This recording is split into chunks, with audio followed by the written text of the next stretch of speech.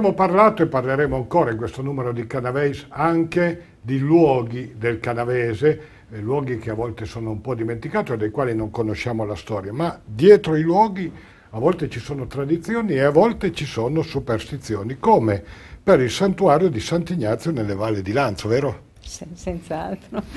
Eh, diciamo che questo santuario non può sfuggire a chi salga verso le valli di Lanzo perché veramente costituisce una evidenza bianchissima sul, sull'alto del Monte Bastia e che funge quasi da baluardo all'ingresso nelle valli. È un santuario settecentesco, il quale però eh, fu preceduto già sin dal 1629 da una cappella dedicata al santo spagnolo, eretta appena sette anni dopo la sua canonizzazione. E quindi già è strano il fatto che a pochi anni dalla canonizzazione di Ignazio, questo santo gesuita, eh, erudito, soldato, in una remota valle del Piemonte nasca un culto così diffuso. Ci siamo chiesti il perché di questo di risposte sicure non ce ne sono tante, gli studi che si sono svolti sono molto importanti, studi di tipo architettonico, di tipo teologico, storico, però dal punto di vista diciamo folcloristico delle credenze, delle tradizioni non c'è tanto. E possiamo dire innanzitutto che il culto si diffuse tantissimo per via di una invasione di lupi che ebbe luogo in quell'epoca e che veramente nel territorio distrusse sia gli armenti che i giovani pastori che erano addetti alla loro sorveglianza. Eh, Sant'Ignazio è reputato in tutta Europa quale protettore contro i lupi per via del suo cognome eh, Lopez, che in spagnolo significa lupo, quindi una cosa abbastanza normale, non ha niente di, di interessante oltre eh, così la, la diffusione del culto. Più interessante è il fatto che nelle valli di Lanzo eh, questo santo non venne eh, venerato solamente come protettore contro i lupi, ma ebbe diverse altre caratteristiche che sono tipiche solo di questa zona, in nessun'altra parte del mondo viene venerato per questi motivi. Primo fra tutti il, eh, la protezione dei neonati, una cosa stranissima perché in genere la protezione dei neonati viene sempre affidata al femminile, quindi alla Madonna o a certe sante, Sant'Anna, Sant'Agata, Santa Libera, eh, mentre invece nelle valli di Lanzo non solo Sant'Ignazio proteggeva e continua a proteggere perché dal 1996 è ripresa questa tradizione, i neonati, ma addirittura gli venivano offerti. Quindi abbiamo delle testimonianze in quadri, ex voto, litografie settecentesche, in cui si vede la processione delle madri con le piccole culle in legno che venivano usate un tempo nelle campagne, le quali offrono al santo i loro figli, soprattutto il primogenito, se maschio e oltretutto a questi verrà imposto il nome di Ignazio. Infatti fino a metà anni 50 del Novecento le valli di Lanzo erano popolate di Ignasi e Gnassinu che portavano il nome del santo eh, spagnolo. Questo, questa cultualità è molto particolare e potrebbe indurre a pensare, qui naturalmente siamo sempre nel campo delle ipotesi, di certo non c'è nulla, che eh, il monte su cui sorge il santuario di Sant'Ignazio fosse già in precedenza dedicato a qualche divinità, evidentemente precristiana, alla quale fossero eh, dedicati i figli, soprattutto i maschi. Eh, bisogna pensare che questo monte si chiama Monte della Bastia del, o del Castellazzo, quindi evidentemente fu sede di una eh, cittadella fortificata, una piccola cittadella fortificata all'imbocco delle valli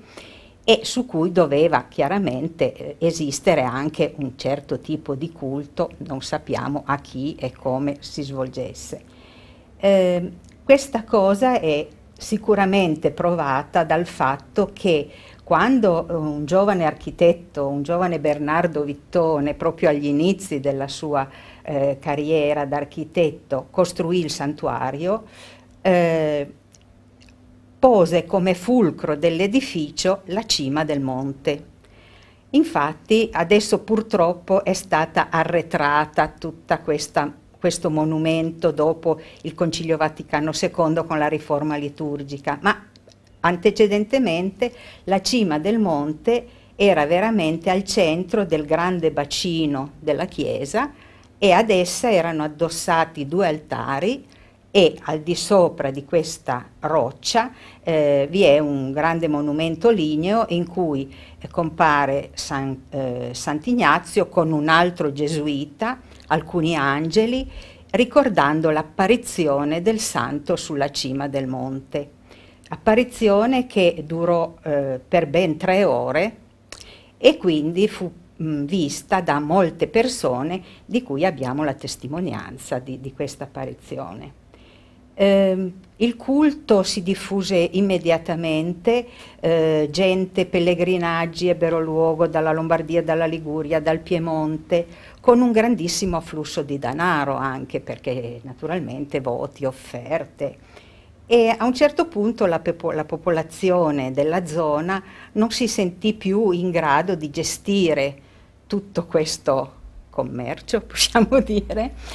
e eh, decise di eh, dismettere eh, il, la cappella e, e, la montagna alla compagnia eh, dei Gesuiti di Torino. Eh, questi naturalmente vollero la remissione di tutta la montagna con tutti i boschi fin dove si estendevano i boschi di rovere, cosa che venne concessa, però, e qui vi è un'altra particolarità che dà un po' a pensare, eh, vi fu, fu nell'atto di cessione, fu immessa una norma eh, la quale diceva che mai e poi mai l'accetta avrebbe potuto abbattere anche un solo albero di questi boschi. Cosa che nuovamente fa pensare a una precedente cultualità in cui oltre alla roccia vi fosse una forma di culto rivolto al bosco sacro, come per esempio stessa cosa è avvenuta un po' più a monte, a Forno al Pigraie, nel santuario della Madonna Nera. Eh, ci chiediamo, eh,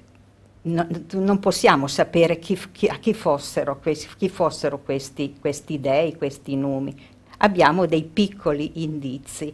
Sta di fatto che Sant'Ignazio ebbe anche altre prerogative eh, che probabilmente erano già di, di, numi precedenti, quale ad esempio la protezione del bestiame, perché guarì una epidemia di zoonosi, il Neiret in piemontese, e per cui gli rimase questo. Per esempio era invocato eh, per proteggere i bambini dalle masche, dai sortilegi delle masche, prerogative stranissime per un santo così eh, della controriforma così severo e così serio come fu Sant'Ignazio.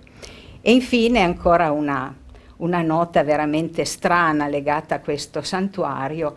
che eh, veramente siamo nella blasfemia più completa, perché c'è una leggenda la quale racconta che eh, la Madonna aveva tre figli ed erano San Vittore, Santa Cristina e Sant'Ignazio. Quindi qui siamo proprio nell'eresia.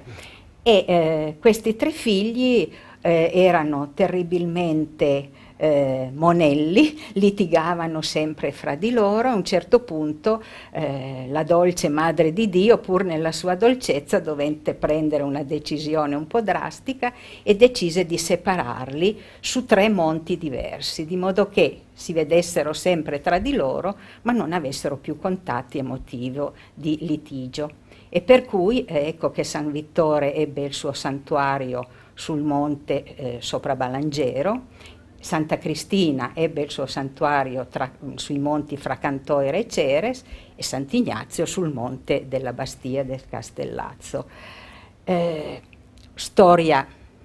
che non avrebbe alcun senso, Mm, che va contro eh, i dettami, pensiamo che qui siamo nel periodo della controriforma, quindi in un momento in cui non si sgarrava R- rigido. rigido al massimo, nasce questa leggenda